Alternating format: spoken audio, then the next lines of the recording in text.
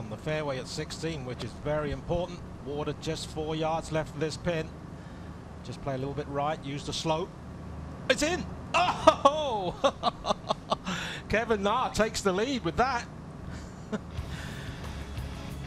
what a shot. Look at that. 2-2. Kevin Na moves to 7 under par. Let's take one more look. He loves this place. Second here before. He's come third. Never outside the top 30. Thank you very much.